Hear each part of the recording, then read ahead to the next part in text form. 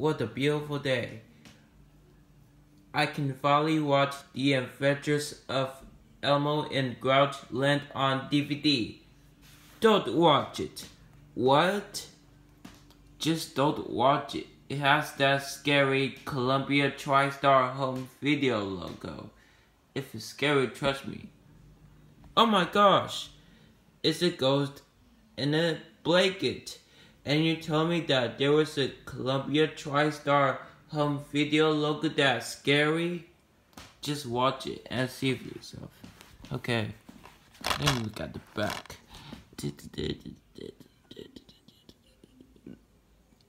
What? Just put the disc in a portable DVD player and just watch it. Fine. I watched it before, it's not even scary. Alright, time to put this in. I already put the disc in the Blu-ray player, so now I'm using the portable DVD player. So here we go.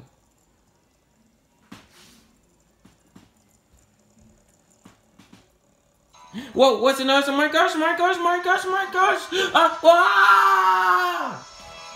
I told you!